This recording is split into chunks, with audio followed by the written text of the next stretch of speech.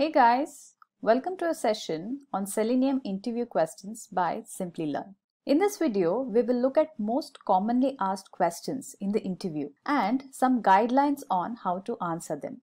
Nowadays, automation tool and especially the Selenium skills is a very key requirement for an QA engineer or even an automation engineer jobs. So if you're on the outlook of automation engineer or a QA engineer positions, I'm sure this question bank will definitely help you prepare for your interview. So this video consists of three parts, basically three different levels of set of questions. One is the beginner level, second is the intermediate level, and then the advanced level questions. And each level has a set of 10 most probable questions which you might be asked in the interview. So let's begin with the beginner level questions. Question 1. What are Selenium Suite components? So, Selenium is a set of tools and libraries to facilitate automation on web applications. You already know this. It is not a single tool. So, what are those components which are comprised in the Selenium? So, Selenium comes with four major components. The first one is the IDE. IDE happens to be the most simplest tool in the whole suite of Selenium. It is nothing but an integrated development environment which has a record and playback functionality. This was earlier available as only Firefox plugin. However, you need to know that the new version of Selenium IDE is available as a Chrome extension as well as a Firefox plugin. So that means you can either use any of the browsers that is Firefox or the Chrome for recording your test scripts. Also, you should also know that the new ID comes with many new features and uh, now this new ID has become more powerful than what was available earlier. So some of these new features are like reusability of your test cases. It comes with a better debugger now and most importantly, it supports parallel test execution.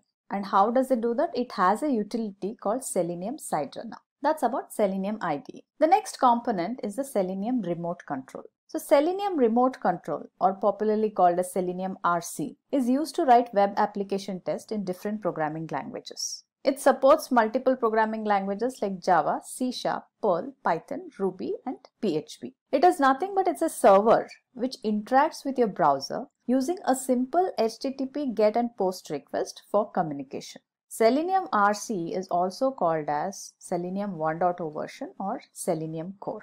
Third component, Selenium WebDriver. It is a programming interface to run your test cases. And WebDriver was introduced by Simon Stewart in 2006. And this was introduced to overcome some of the limitations of Selenium RC. So RC's architecture was very complex because it required an additional server in its setup. And why was that additional server? For communicating with the browser. And what WebDriver did was it removed this dependency completely. WebDriver interacts directly with the browser and also makes your test cases run much faster than your RC. The last component, the Selenium Grid, a very important tool.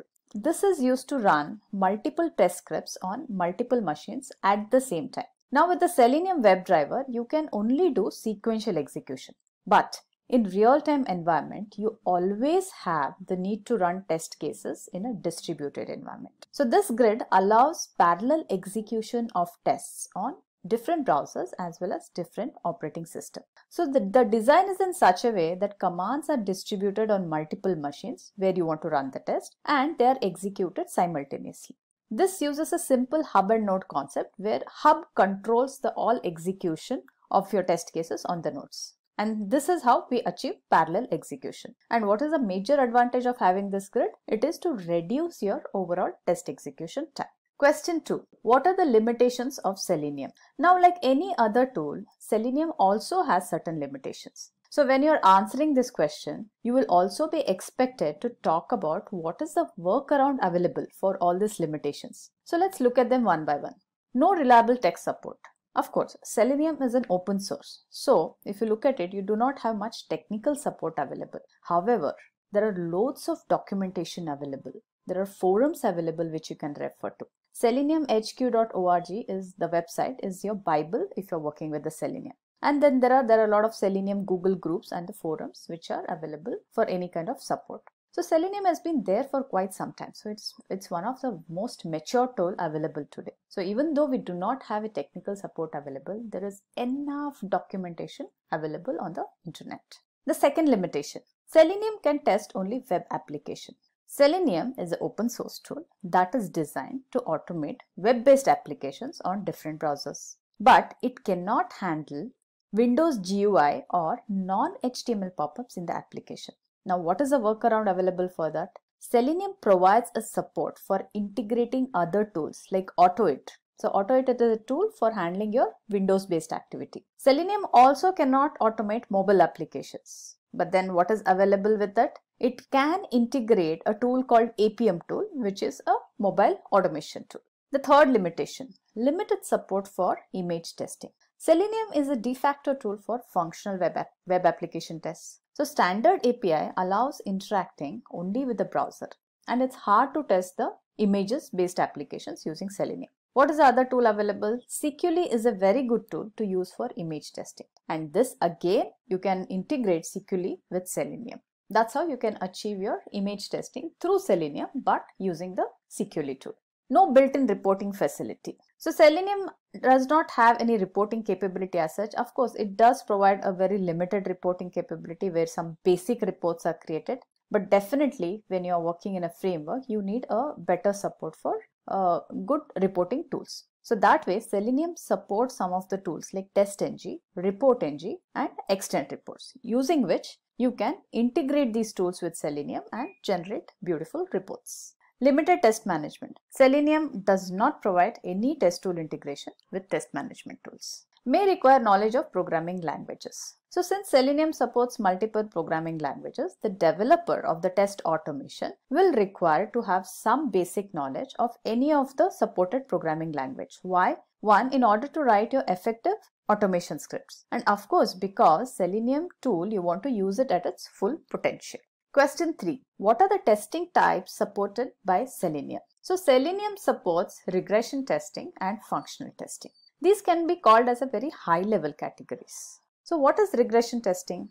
Regression testing is a full or partial selection of already executed test cases which are re-executed to ensure your existing functionality does not break. So let's look at what are these attributes of regression testing and why we say that Selenium helps us in doing regression testing. So regression tests are run every time a new fix has been received or a new feature has been deployed. So that is called as retesting. You can always select a full suite or select a test to test a fix or a complete product. So your selection can be based on recently added features, a test area where most defects are there, or integration areas, or even end-to-end -end kind of tests. You can also prioritize your test cases based on critical functionalities and business impact of these test cases according to the priority set. So all this can be done using Selenium.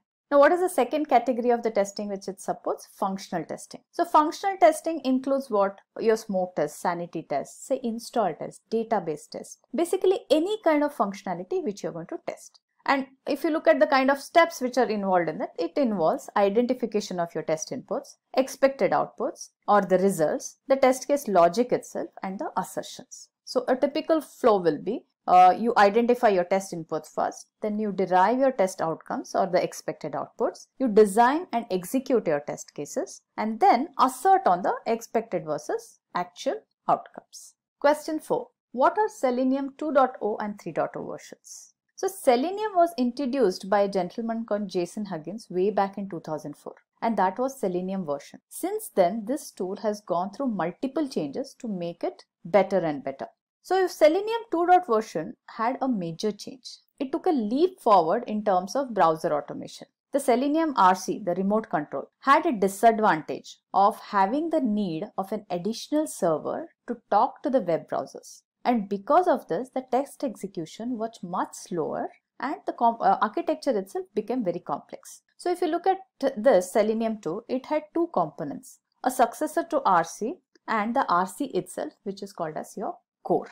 So this successor was nothing but your WebDriver API. So WebDriver APIs made it easier to write your automation scripts for any browser by simply using a suitable driver for any browser which you want to run the tests on.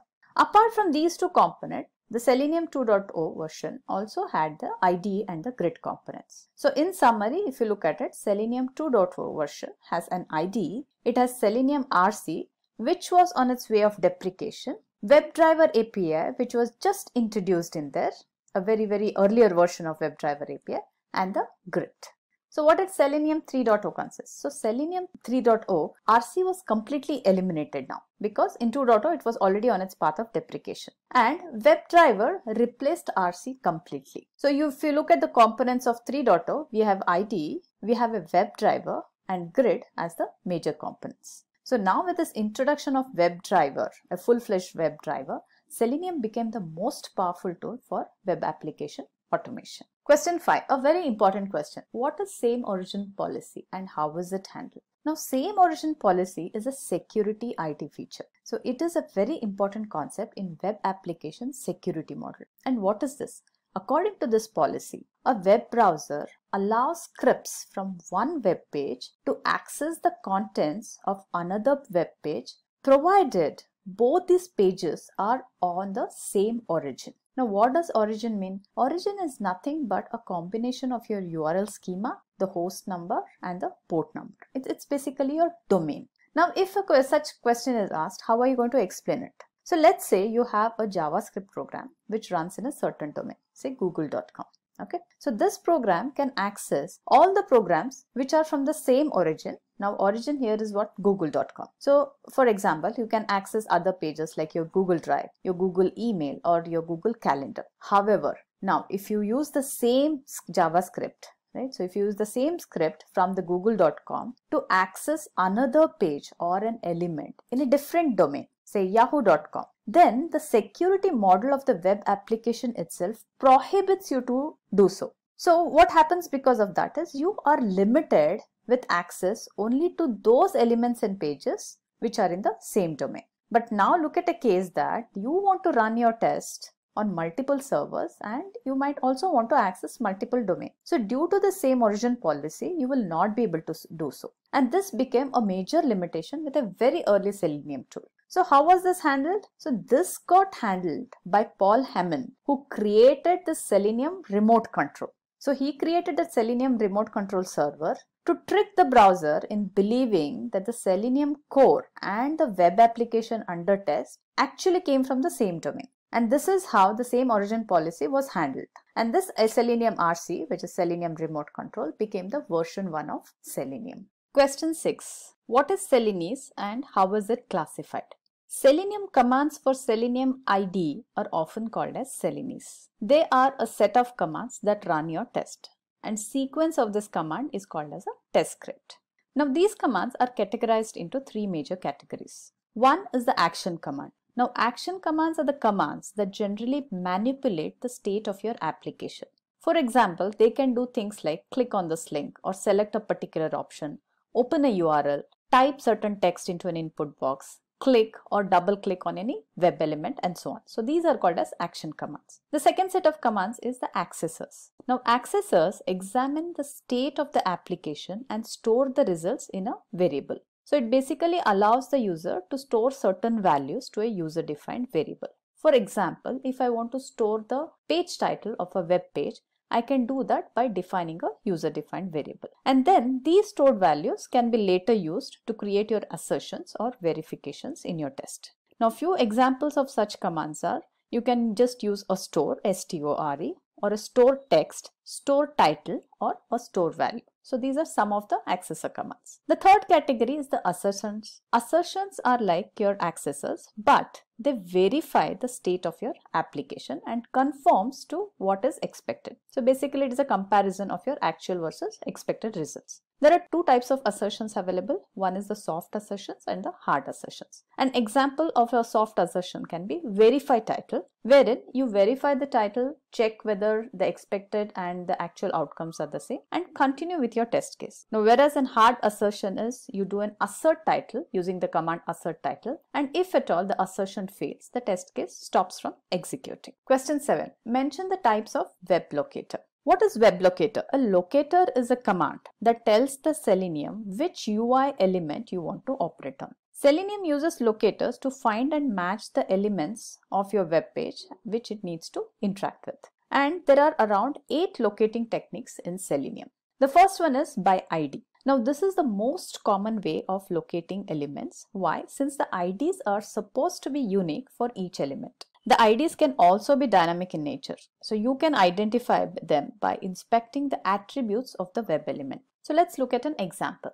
So if we go to a Facebook, right? So if you go to the Facebook and say if I want to identify this element email. So if you look at this highlighted text here, it has a unique ID which is email. So if I'm going to operate on this particular element email, I can directly use the ID locating technique link text and the partial link text. So this type of locator applies only to the hyperlink text. So we access the link by using this locator which needs the hyperlink text to be provided. So for link text you can give a complete text in the link text or let's let's look at an example of that. So let's if we go to say one of the e-commerce site which is say amazon.in and say you want to click on this today's deal link. So if you look here in amazon.in there are a lot of hyperlinks available here. And if an example if you have to take an example say we want to click on the today's deal. Now if you inspect this element you will see that it has an anchor tag a it has an associated href link here and also it has a text which says today's deal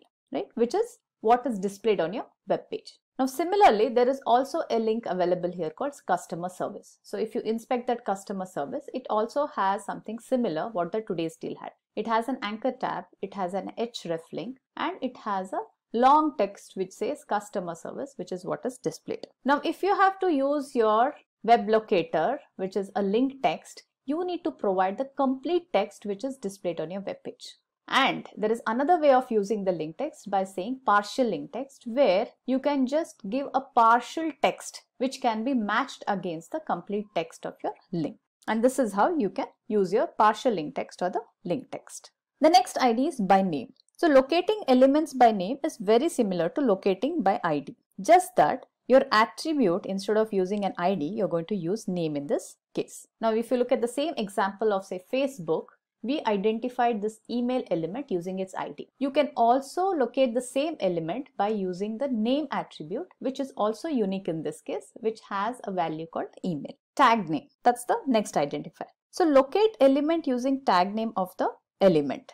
Now say if you want to identify all the elements on your web page which are of type button. So that you can do by using the tag name as button there. For example, again on your Facebook page, I know that there is a single button here which is of type button and which has a tag as button and this is the only button which is available on this page. So if I want to access this particular element, I can simply use a locator technique called tag which is button in this case. Next locator, class name. So locate an element using its class name attribute. So you can use this identifier only if you find that a class name is unique for a web element which you want to work with. Class names are sometimes unique. A web element can also have multiple class name or even you will find some elements which has no class name. So depending on what is available in the attributes, you can uh, use this class name for identification. So example the shown on your screen here where it says find element by class name input text. Basically this is going to list out all elements on your web page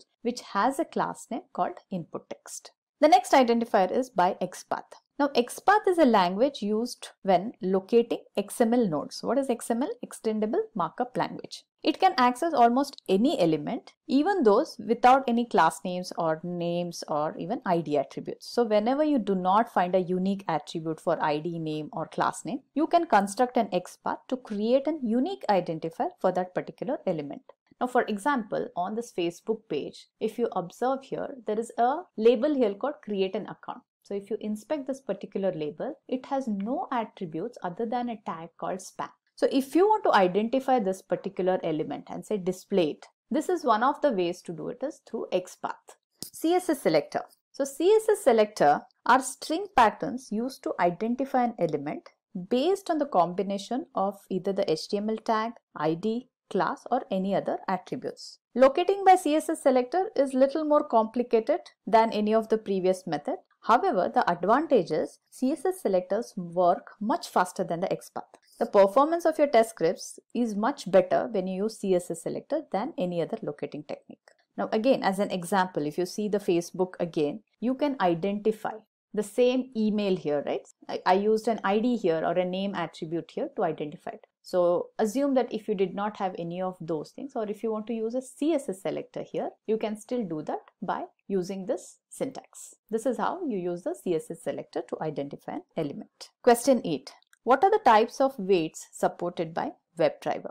Now, before even you answer this question, you should know why do we need waits? In Selenium, waits play a very important role in executing test cases. Most of the web applications are developed using, using Ajax and JavaScripts. So when a page is loaded by the browser, the elements which you want to interact may load at a different time intervals. Not only this makes it difficult to identify the elements, but also if the element is not located, it will start throwing element not visible exception. And how do we resolve this? By using the waits. So there are three different kind of waits available in Selenium. First one is the implicit wait. The implicit wait tells the browser or your WebDriver to wait for a certain amount of time before it can throw a no such element exception. Now the default setting is 0 for this. Once we set a time, what web, WebDriver does it, it will wait for that time. Say if you have mentioned 10 seconds, it will wait for 10 seconds until it finds the element and even in the 10 seconds it is unable to find that element only after that it throws an exception.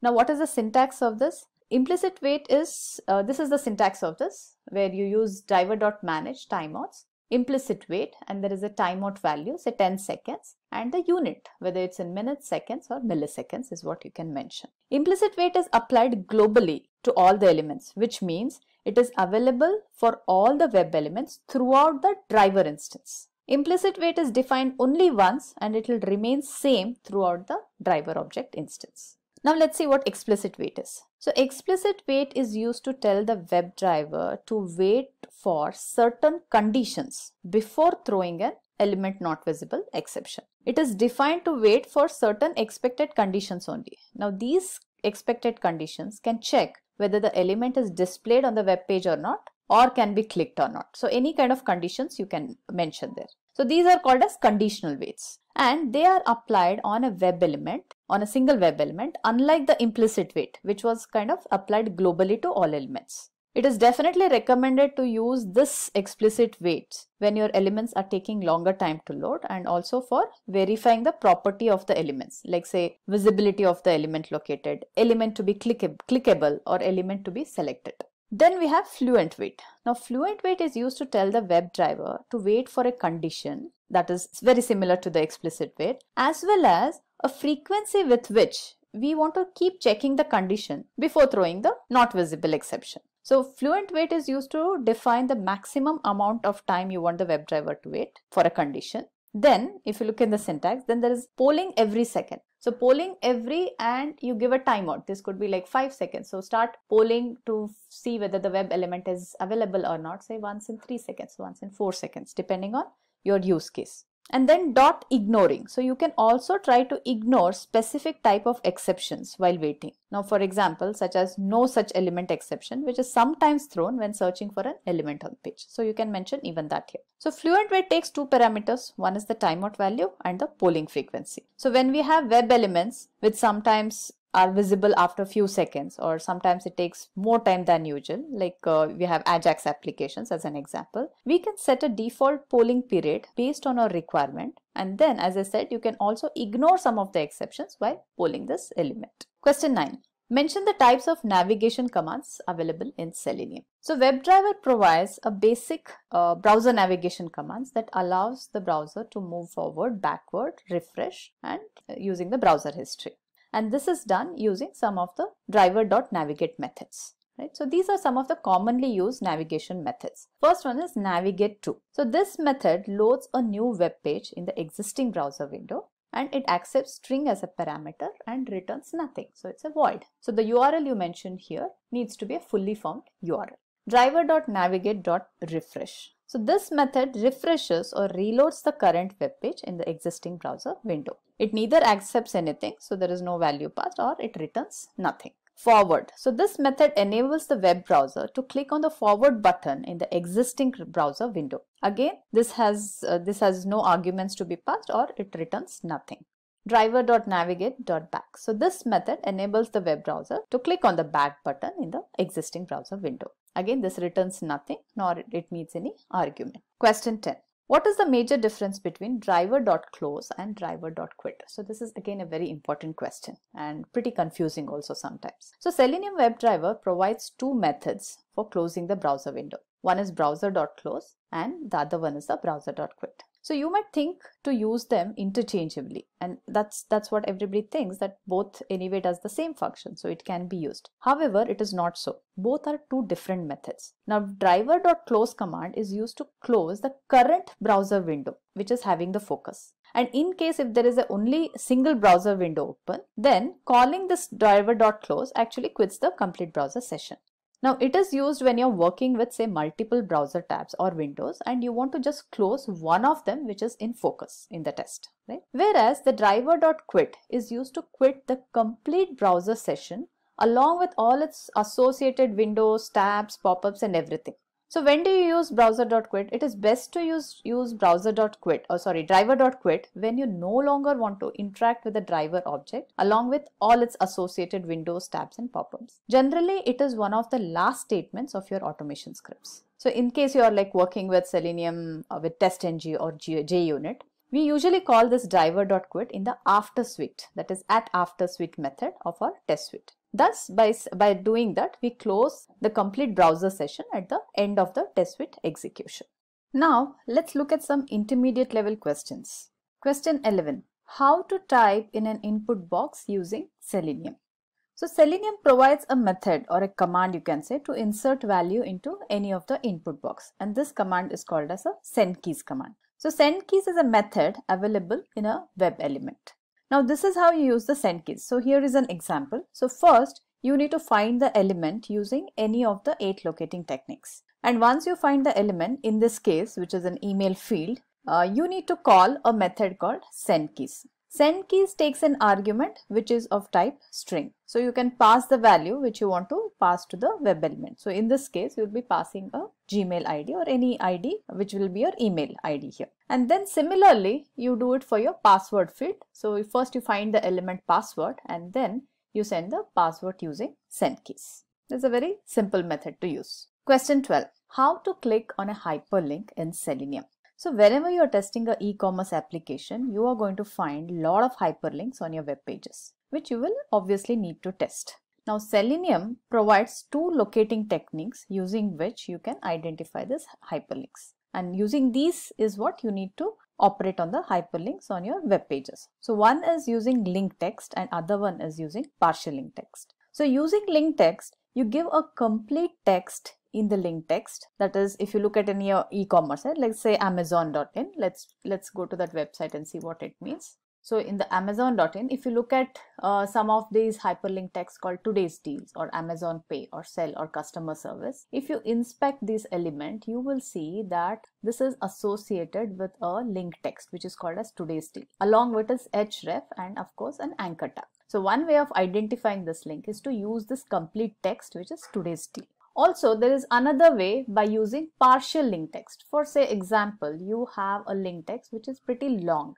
and you do not want to use this complete text. Instead, you can use the locating technique called partial link text and give a partial text from that. In this example, instead of giving the complete customer service here, you can just say use a customer or you can just use service as your text. Only thing what will be required here is this has to be unique on this page. There shouldn't be two elements which would have this text which you're going to use. So let's quickly see this in action. How do we use this link text and partial link text. Now we will be using the same example of amazon.in. So my use cases, first I will click on this today's deal and after a sleep of 2 or 3 seconds, I will also click on customer service. And I'm going to achieve this one by using link text. So if you see in this program, so I have this method written which is going to click on today's deal and this is using a locating technique link text. And then I also have another method here by using partial link text, I'm going to be clicking on the customer service link, right? So let's see how this works. So I'll just go ahead and execute this. So this launches the amazon.in and the first thing what we are doing is it is going to click on today's deal. All right, that is done. And then it will click on the customer service link, right? So this is how you can achieve clicking on the hyperlinks in your web applications. Question 13. How to scroll down a page using JavaScript? This is a very important question. and usually this gets asked quite often in the interview. You should know that you can run JavaScripts through Selenium and Selenium provides a way to do this. Selenium provides an interface called JavaScript Executor, JavaScript Executor, and this helps in executing any kind of JavaScripts through the Selenium WebDriver. So this JavaScript executor, it has basically two methods. One is execute script and the other one is execute async script to run the JavaScript on the selected window or on your current page. But why do you need this? Right? So if, if you're answering this question, you should also have a background that why at all this is required. Because sometimes you need to perform certain functions which cannot be done using the locators, what has been provided. Like say scrolling down the web page itself. Also, sometimes you will see that you are unable to even identify some web elements using all the locating techniques which is made available by Selenium. So in such situations, what you can do is you can directly write a JavaScript and execute it using this JavaScript executor. And if you look at it, the syntax is something like this. So it says JavaScript executor, JS is equal to JavaScript executor and driver. Now, if you look at this, JavaScript executor is an interface. That means you cannot create an object of it. And hence, you typecast it to your driver object. Now, how do you do this? Now, first thing what you do is you launch your web application on whatever web application is under test. And then on that current window, you call this particular execute script method using the JavaScript executor. And then you can perform any functions here. In this example, we are seeing a function which is scrolling down vertically. So this function takes an attributes or arguments like x coordinate and the y coordinate. Now in this example, our x coordinate is 0 and y coordinate is 1000. That means when this command gets executed, the page is going to get scrolled down vertically by 1000 pixels. So why don't we just see this in action? So let's go to another program here called the scrolling tester Java. So basically what I'm doing here is I'm going to be logging into amazon.in and then I will show you how to scroll down by 600 pixels. So it's a very, very simple code to write. You launch your application, then you create your object of JavaScript executor, right? Actually, you typecast it to the driver and then you just use an execute script command or a method. This you see is your actual script which gets executed which says windows dot scroll by 0 comma 600 which is x coordinate and y coordinate. Let's go ahead and execute this. So an amazon.in is launched and you should see the screen scroll down. Yes, there we go. So it just scroll down by few pixels and that is 600 pixels what we mentioned. See, I could scroll back again. And that is how you can achieve scrolling functions. And when do you usually use this? Say if you have a very long web page and you want to go and identify or do some operations on the web element which is probably available to you towards the end of the page. And that is when you can use some of the scrolling functions. Question 14 how to assert the title of a web page. Selenium WebDriver provides WebDriver methods and one such method is called getTitle. So what getTitle does is it fetches the title of the current page.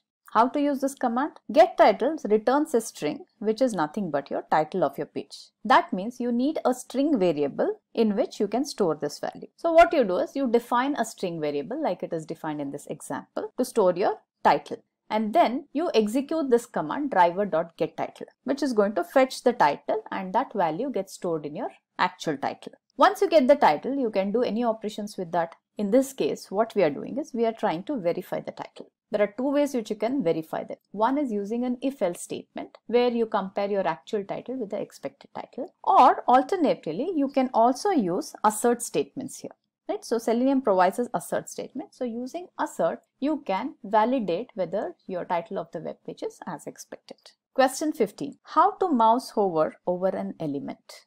In automation, many times it is required to perform some action on the element which gets visible only on the mouse hovering on those elements. Now in Selenium, action is a class which we can use to achieve this functionality. So action class is defined in a package called as selenium.interactions. This has a set of APIs to emulate complex user gestures. It helps in building the patterns of action and then perform that action on a web element. Now this action class provides a rich set of APIs like so for mouse events and even the keyboard events. So say for to perform any kind of mouse event, it provides a method called move to element.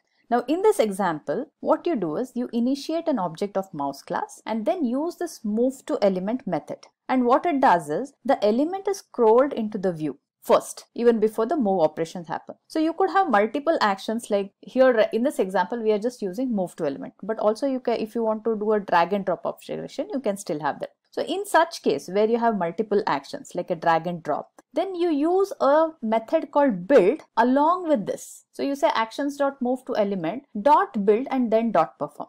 So dot build method is called before the perform method and what it does is it generates that composite actions which has all those multiple actions which you want to perform on a web element. Then after the building action is done, you call a perform method which actually performs that action on your web element. And this is how the move to element method of the action class is used.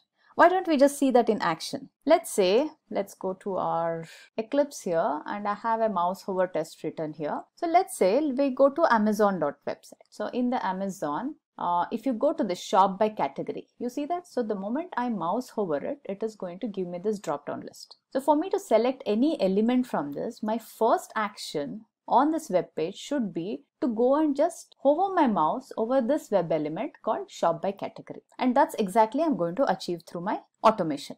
Now here in my methods here, what I have written, I have said, okay, first launch your website, which is amazon.in and then I'm finding that element which is shop by category using an XPath. So you could use any available locating technique to find the element first. And then I instantiate an object of actions and then simply I'm doing is I'm using the method move to element and then I'm just going to say perform. That means my mouse would actually get moved or hovered onto that particular element.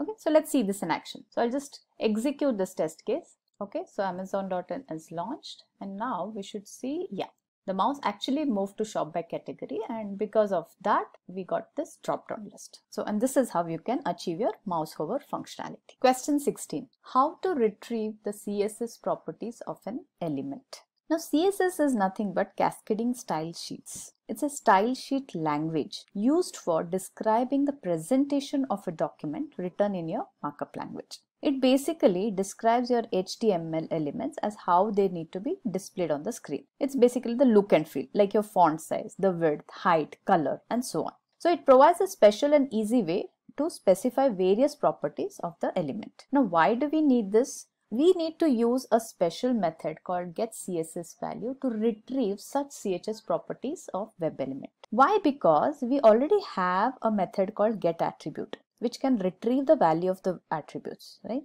However, the get attribute method can only retrieve those properties where the attribute and its value are mentioned in your DOM. And hence, all this font size color cannot be retrieved through the get attribute method and that is why we use the get css value. So basically it works like your get method and you need to provide the attribute which you want to fetch using the get css value. So in this example what we are trying to do is we have a, a web element called the email id and of that we are trying to fetch the font size. So let's again check this in action. So if i go to my web page here let's close this. So if i go to my facebook and if I inspect this particular element which is the email ID and on the right if you see there are multiple other attributes of that element you see right? So you see the background color you see the color here then you see something called as font size. And say for example we want to retrieve the font size of this particular web element. And you will also see on the left where you're seeing the DOM here you do not see that font size anywhere as an attribute and its value here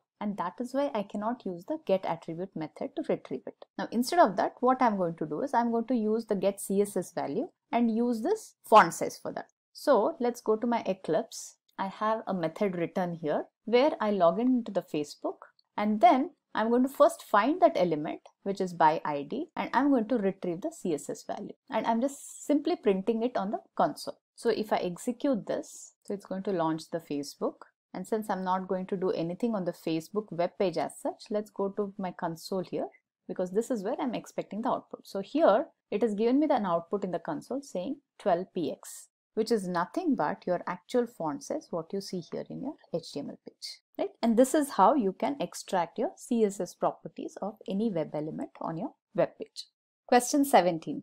What is Page Object Model, popularly known as POM? Page Object Model is a design pattern that helps create object repositories for web elements. So writing Selenium test cases without say using any patterns may lead to code duplicacy and also the code becomes unmaintainable after some time. And say if you have web element locators which changes over time, then you will have to go through the entire code base to make all the required changes. So under this model, for each web page in the application, there should be a corresponding page class and this page class will have all the web elements of the web page and also it contains the page methods which perform operations on the web elements. And the verification steps required in your test cases are the separate test cases itself. They are not combined in the same class. Now the tests that use the methods of this page object class whenever they need to interact with the UI of that page. The benefit here is if the page UI changes then the tests need not be changed. Only the code within this page object class needs to be changed. That is you go and just change the web elements or the locators of the web elements only in one place which is your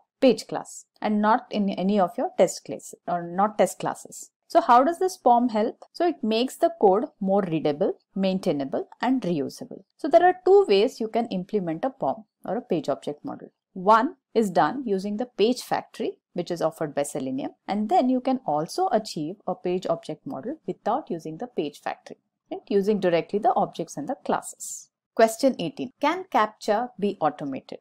This is again a very favorite question of the interviewer. CAPTCHA is a security feature that prevents bots and automated programs from accessing sensitive information. Yes, and CAPTCHA cannot be automated. You will see that there are many applications today who have CAPTCHA. Why? Because it's a security feature.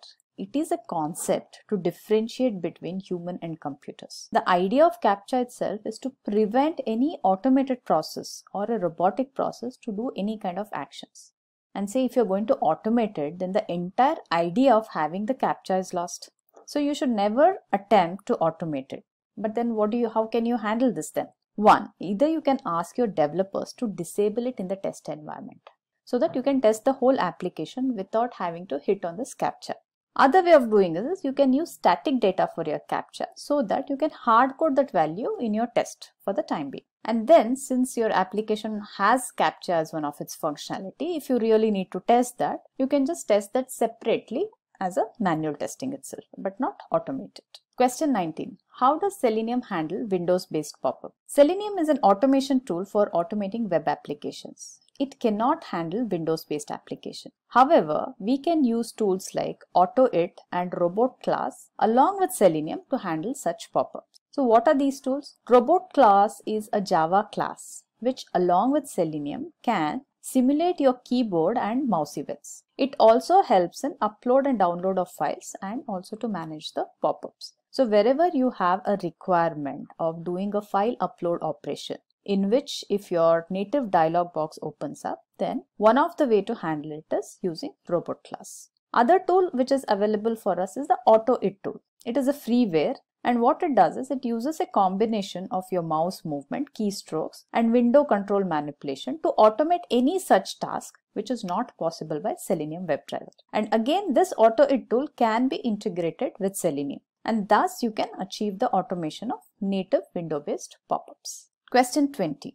How to take screenshots in WebDriver. Take screenshot interface can be used to take screenshots in WebDriver. So Selenium provides us this interface for managing our screenshot operations. Now screenshots are desirable for bug analysis. So Selenium can automatically take these screenshots during your execution. You know that it is very important to take screenshots when we execute the test scripts say if we have a huge number of test scripts running and if some of the test case fail, we need to check why these test case failed. So using the screenshot functionality, it helps us debug and identify the problem by looking at those screenshots. So WebDriver has this built-in functionality to take the screenshot across the page and it's pretty easy to use. Take screenshot interface is used to capture the screenshot during the execution. Now this interface has a method called get, get screenshot as which captures a screenshot and it also stores in a location specified by us. So let's take an example of our Facebook page and say we fail a particular test case on the Facebook application. And then let's see how we take a screenshot at that particular moment when the test case fails. So let's go to the Facebook page first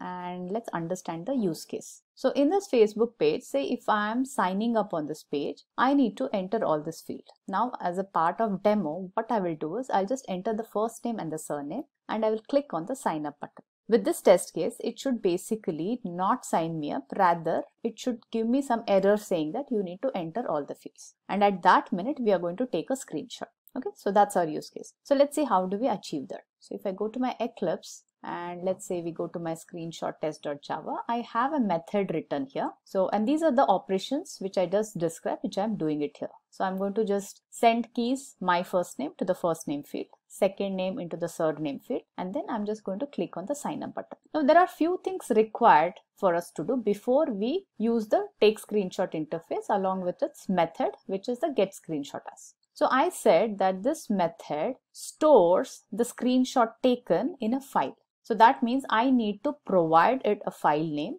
and also a location where it needs to be placed. So in our demo here in this test class, what I have done is I've created a folder called screenshot in the same project directory.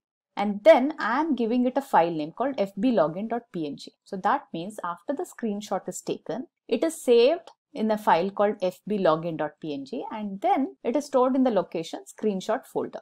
And these are the simple file operations of Java which I use to achieve this. So let's execute this and see how this happens. So right now I have the screenshot folder and it's an empty folder. So after the execution, I am expecting that this particular file would get created. So let's see that in action. So I'll go ahead and execute this Java program. Okay, so we have launched the facebook.com and then I entered the my first name, second name and it has also clicked on sign up after which it has given all this red marks here. And now this is what I'm expecting in the screenshot. So let's go back to our Eclipse I will refresh this folder. So I'll say right click and refresh. Okay, I have this file created. So let's open this file and see, right? So do you see this? This whole image has been captured. So now as a tester, if at all this test case fails for me, I can always open this PNG file and see what actually happened and I can debug my test case. So this is how you use screenshot functionality in Selenium. Level questions. Question 21. Can you type in a text box without using send keys? So you need an alternative way to use instead of using the send keys function. And one such alternative is using JavaScript executor. So Selenium provides an interface called JavaScript executor and this helps in executing any JavaScripts through your Selenium WebDriver. So you can do any kind of function using this JavaScripts and one of the functions which we can do is the send keys kind of a function. Now how to replicate a send keys function using JavaScript. So let's see an example here. Now since this JavaScript executor is an interface, you cannot create an object of this interface. So what you do, you typecast it to your driver object the way it is done here in this example. And then you use document dot get element id to get the actual element on which you're going to perform the operations of sending the keys. Now what is this document? So it is an object, right? So this document, it's an object that represents your HTML document which is displayed in that window. And this document object has various properties that refer to other object which allows you the access to modify any of your document content. So the argument which you're passing to the Java execute script is nothing but your JavaScript. Now this JavaScript uses the document object to identify your element and then send the value which you need to send to that element. So let's see this in action as how it works. So let me show you a small program here. Alright, so I have a method here wherein I'm trying to identify the email field of your Facebook page. So if this is your Facebook application, this is my email field. And instead of using send keys here, I'm going to pass a email value to this. And how am I doing that? Using a JavaScript executor. Right? So if I execute this particular Java program, it is exactly going to do the same function what I would do otherwise using the send keys. So let's execute this and see if I can see my user's ID email in the Facebook application. So the Facebook application is launched and there we go. So we this is the value which I have sent using my JavaScript. Okay. So this is how you can use a JavaScript executor to replicate a send keys method. Question 22. How to select a value from your drop down list in the Selenium WebDriver. So select class is a Selenium WebDriver. It is used for selecting and deselecting options in your drop down list. The objects of select type can be initialized by passing the drop-down web element as a parameter to its constructor. Like in this example, I'm saying select drop down equal to new select of test drop. So test drop is nothing but the web element which I have identified using any locating techniques. After you create the select object, then you have three different methods available for actually selecting your methods. And what are these methods? One is select by index. Now the index starts with 0 in the list. So you can select any element from your list using the index ID. And then the second one is select by values. So this is used to select an option based on its value attribute. Select by visible text. So this is an option wherein you can select a particular list item or an option based on the text displayed in the option. So that means whatever text you can see on your drop down list is what you will use it to identify that particular element. So let's see the demo for this. So I have again a same Facebook application which I've considered here for demo. So if you go to our Facebook application first, you know that there is a drop down menu here. Now this drop down is for selecting your birth date. This has a day values which you can select, the month values, right, and the year. Now, what I have done in my code is, first thing is I've identified all these drop down boxes using one of, I'm using mostly the ID locating technique here. So you can use any of your choice. So once I identify the element, I created this select object class for each of this and I pass that web element to the constructor of the select class. So now my select element or the object is ready to use. So my next step what I need to do is I need to go and select the actual dates. Now in this use case, what I want is I want to select a date which is 10th June 2005. That means on my select dropdown of the day, I should be able to select the day 10. Now this I'm achieving by using select by value. And then I'm selecting the month based on the index, which is the index in this case is 6, which will select the June for me. And then the third one I'm trying to select it by visible text, wherein I'm selecting the year 2005. So when I execute this program, let's see how the date selection happens. Okay, there we go. So it selected the 10, the day 10, the June month and the 2005. So this is how you use select objects in Selenium. Question 23. What does the switch to command do? So switch to command is used to switch between windows, frames or even the alert pop-ups within your application right? So there are multiple things which you can do with switch to. Now, sometimes in your web application, say when you click on a button, it opens up a completely new browser window or you'll also see it opens up another tab in your browser. Say for example, let's look at one of this application which I have. Let me go to my browser and say I launch hdfcbank.com. All right. So this is my application say which you want to test. Now when you launch this, first thing is I see this advertisement pop-up which comes up, which is right now an unwanted pop-up. So right now I'll just close this and now if I want to enter this HDFC Bank application, first I need to do a login. So if I click on this login button, see there is a new window which opens up and I need to go and operate into this window. So for any further operations I want to do it on this web page, I need to switch to this window and then say I want to click on continue to net banking and then continue with my use case. So now in this application there are two windows open. One is your base window from where we actually logged in and after I clicked on the logging, there is a new window opened up, right? So this is where your switch to command will help us to switching to this particular window to do any of the operations on this web elements present on this window. Okay. Now let's see how do we actually do this. So in order to do this, first you need to get the handle of the window by using a command called driver.getWindowHandle. Alright. So now when you use driver.getWindowHandle, what you get is a unique alphanumeric value which is an identifier for that window. And once you get this, you use a command called driver.switchTo.window and you pass that handle which you have fetched previously. And this command will actually switch to the current window which is in your focus. Now you'll also come across a case where there are multiple windows open. Right now the example what we saw we just had a single window. But say if you whenever you launch an application say there are multiple windows which are open. So in such case you can use something called as get windows handles. Right now get windows handles what it does it it picks up all the active windows at that point of a time and using a for loop you can read into every handle and then you do your operations specific to your window handles. Also, there is another way wherein you can switch back to your parent window. So if ever you want to switch back to your parent window, you have to use the same command driver.switch to and the handle what you need to provide here is your parent handle. Alright, so this is about Windows. Then I also said switch to can be used for your frames. So what are frames? Frames are usually used to divide your web application or your web page or the on the same domain into various different windows or sections, right? So for us to operate on elements which are in different frames, we need to first switch to a particular frame and then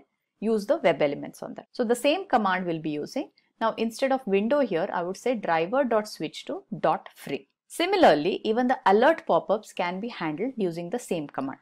So in the case of alert, what you need to do is you have to say driver.switch to dot alert. Question 20. How to upload a file in Selenium WebDriver? Right? A very important concept in Selenium WebDriver. We know that Selenium WebDriver is designed for automating web application, right? And File upload is a very common scenario which we get with every web application which we are working with. Now there are two ways to do a file window, uh, file upload operation. One is using the send keys which is the simplest method and the other way is using robot class. Now there are certain prereqs required for you to work with the send keys option.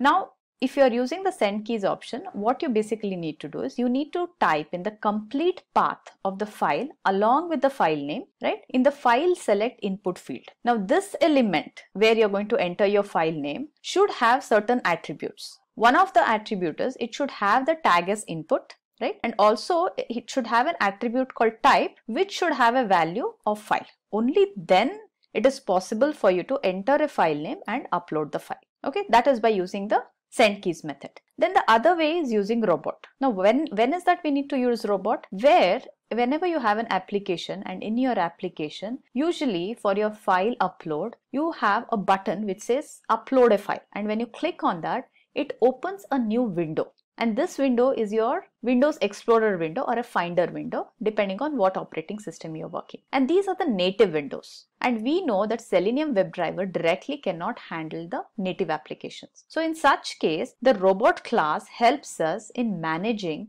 these native windows. So what happens in the robot classes? It helps you manage your file upload dialog box by simulating all the actions required for selecting a particular file from your dialog box and then you go and upload them. Alright so this is the example of using the send keys. Question 25 how to set browser window size in WebDriver? So you can either maximize the window or set it to a certain value. Now to do this, you use a simple functions provided by driver.manage. One of the functions using driver.manage is driver.manage.window.maximize. Now this command maximizes the current window and say you want to set a particular window size rather than maximizing it. And then for that you have a command called driver.manage.window.setSize. Now this set size takes an argument of the type dimension class. So this is basically when you create a dimension class, you are passing the size of the window which you want to create here, right? So we use the dimension class, define the new dimensions of the window and then pass the object of this dimensions to the set size method. This is one way of doing it. We also saw that using JavaScript executor, we can do any kind of functionality. So if you want to minimize or maximize or set a different size, to your browser windows. This can also be done using a JavaScript. Okay, let's see a quick demo on how do we use this driver.manage dot set size or the maximize command. So let's go to my Eclipse here. So I have this method written here. So I have two methods. One method where I'm saying I'm going to maximize the window. This particular command is where I'm saying driver.manage.window.maximize and I'm launching a Facebook application. So first let's run this particular method and see how our browser window behaves. So I'll just say execute this so now you will see the whole window, your browser window is in maximized mode. So now from here, I'm going to execute the other set of lines here using which I'm going to set a certain size. Now I'll just comment out these two lines and then these are the two commands which I'm going to use, right? So here what I've done is I've defined an object of the class dimension and I've used 600 600 which is the size of the window which I want it to be and then using the set size I'm passing this dimension object to the set size method. Now let's see how do we look at this browser window now. Did you see that? So it was at a certain size and it just shrunk. It shrunk because I have used a smaller size window. Question 26. When do we use find element and find elements? Now find element, you can use this command to access any single element on your web page. And what does it return? It returns an object of the first matching element of the specified locator. And this is the most common command what we use for working with every web element on the web page. What is find elements?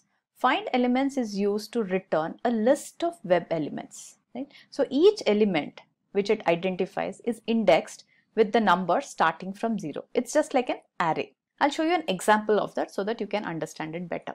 So let's go to my Eclipse here. Right? So if you look at this locators.java, I have different elements which I have identified using different locating techniques. Right?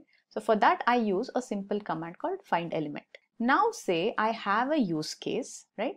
wherein I want to fetch all the web elements who have a class name starting with the text input.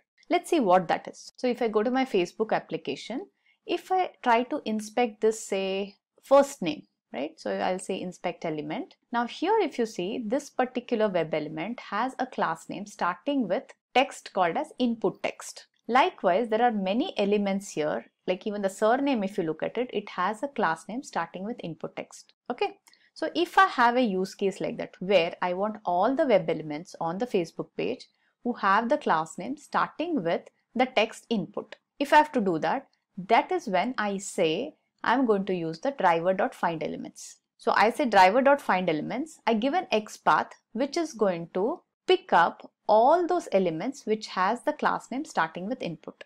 This is my XPath expression. Once I get all the elements, what am I doing? I am going to store it in a list array. Once I have all these elements created, it's in an array, I'm just going to traverse through the array using an enhanced for loop. So in this program, in this test case, I'm just picking each and every element and printing the attribute ID of each element. So if I execute this now, we should see all the elements on the Facebook page which has the class name starting with input and we should see all the IDs of that. So this is what we are getting. So you are around getting 9 to 10 elements it has picked up and all of them have the class name starting with input and these are their different IDs.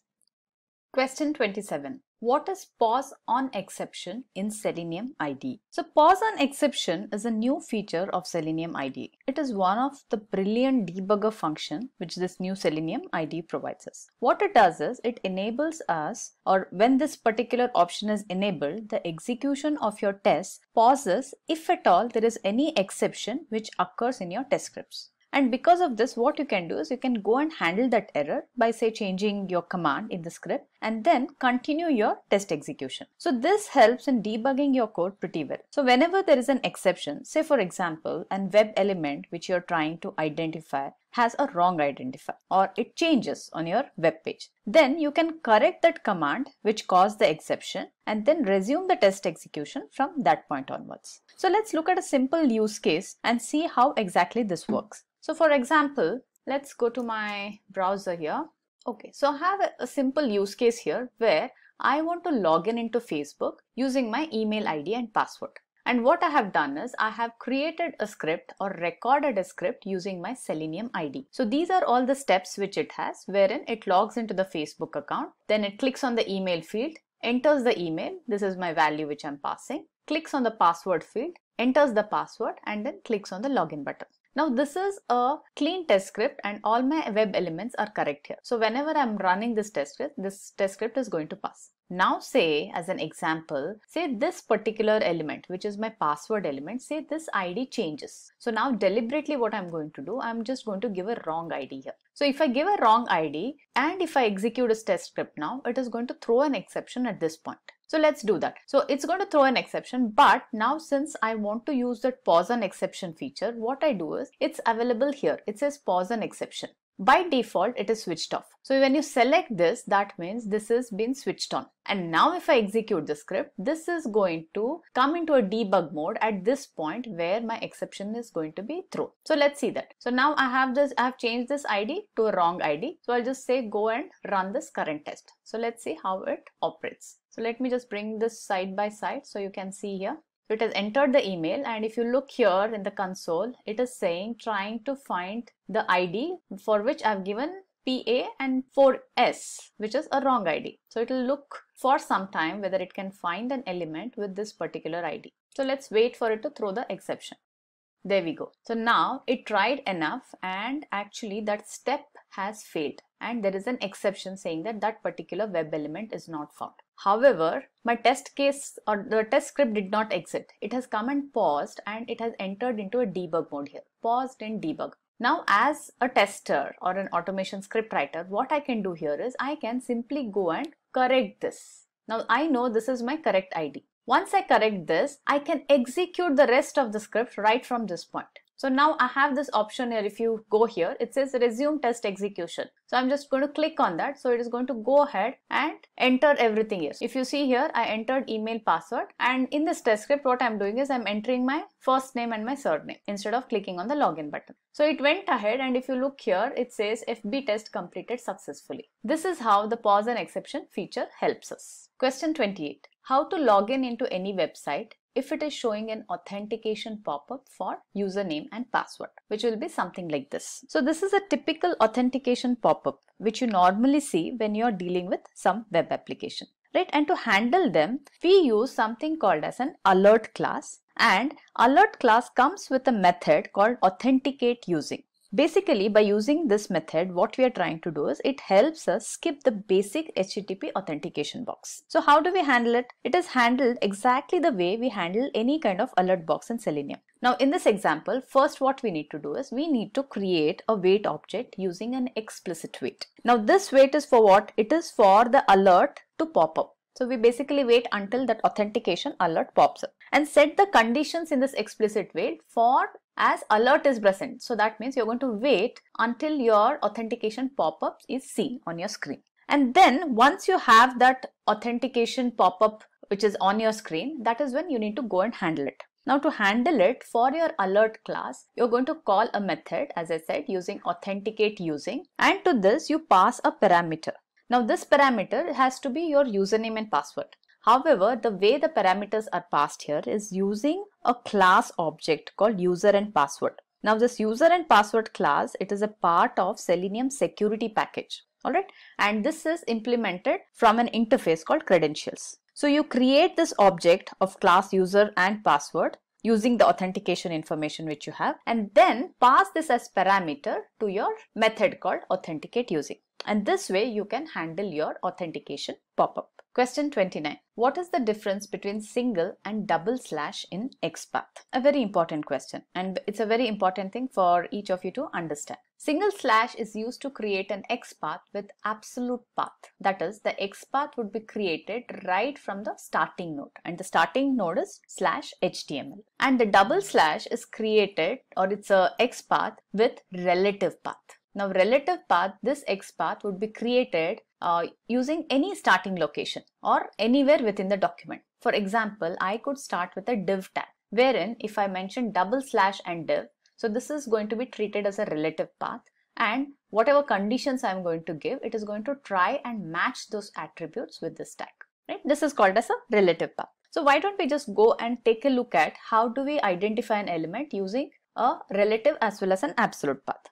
So if I go back to the same application of the Facebook, this is my Facebook application. Now I have this ChroPath installed which helps me in identifying XPaths of an element. Now say I want to try and see what is the XPath of my element first name. So in the inspector tool, I can see that it has a tag input and it has a long class name and it has multiple attributes which I can use to identify this element. So if I go to my ChroPath and again try to match this element, so if I just hover my mouse here, now here you can see this ChroPath gives me both the path. One is the relative x path and one is the absolute x path. Now look at the big difference between these two. Now relative path was as simple as using a slash slash input which is the tag and an attribute called ID we are able to identify this particular element. Same thing if you want to use an absolute path and you if you see here it will start right from the slash HTML which is your starting node of your HTML page and then it travels down looking into each of the parent and child under this until it found this element input.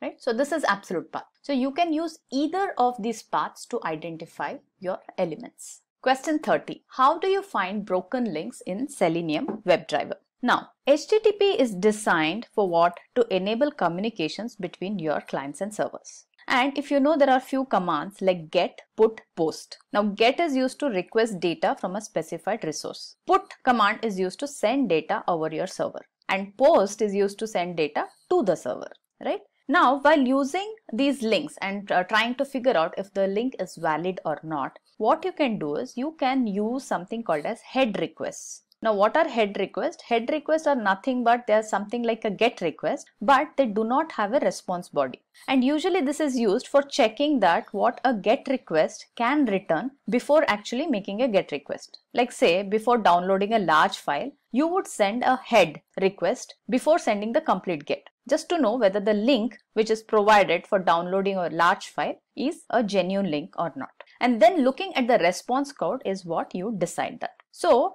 how do we do this programmatically? Now Selenium provides something called as HTTP URL connection class, which has some methods to send HTTP request and to capture the HTTP response codes like the ones which you see it on the screen. So if we have to see how do we do that, now first thing the logic behind how do we get this broken links is you get all the URLs on your website first. After getting all the URLs, now how do you get the URLs? By using the tag A like it is done here. So once you get the complete list of all URLs, you also check for a non-null non or a blank ones. That is one kind of a check which you can put.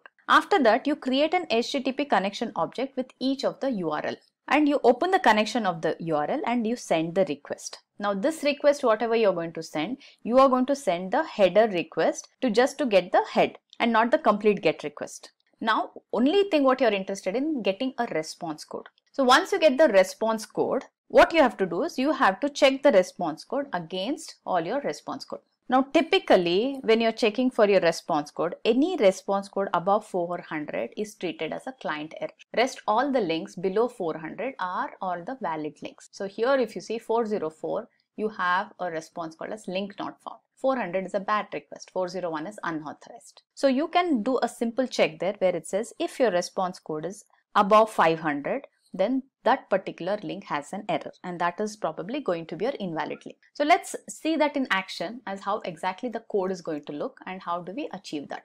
Now I have a test case written here called brokenlinks.java. Now here what I'm doing is I'm logging into facebook.com and then I'm fetching all the elements with the tag A. Now when I say I'm fetching all the elements with the tag A, that means I'm going to get all the href element from the page. And once I get that, using a for loop, I'm going to inspect each and every URL what I'm going to fetch. As I said, my first check would be to see if it is a null or is it an empty. If I find an empty or a null value in the URL, I'm just going to ignore that and continue the loop. And this is where I actually do the connection with my URL. So I create an HTTP URL connection with the URL which I have picked it up from my website. Then I do this, I send a request here, the head request to get a response code. So once I get this response code is what I put a if else statement and check if my response code is greater than or equal to 400. So if I find that if my response code is more than 400, that means this particular URL link is broken and that is how I identify. So once you identify a particular URL which is broken, you can make use of that information, uh, share it with your developers and get it fixed. So let's go ahead and execute this. So in this test case, basically what I'm going to do is I'm just printing out all the URLs and I'm printing the ones which are valid and ones which are broken. Uh, since it's a, a facebook.com website, I do not have any broken URL, but this is just a logic of how do we find a broken URL. So if you look here, there are a lot of websites which is getting listed, which says is a valid link. So that means it is getting a response code which is more than 500. So this is what we saw in the demo as how do I iterate after I select all the links on the page and then how do I determine whether it's a valid link or it's a broken link. Alright, so that brings us to the end of this interview questions. I hope this should help you and help you to get through any of the interviews which you're going to attend and also this acts as a pretty good information set for you. So thank you very much for viewing this video.